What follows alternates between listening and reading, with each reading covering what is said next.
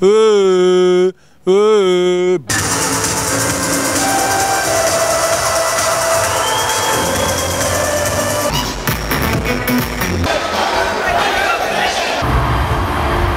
Yeah? Is that your hobby? Well, yeah.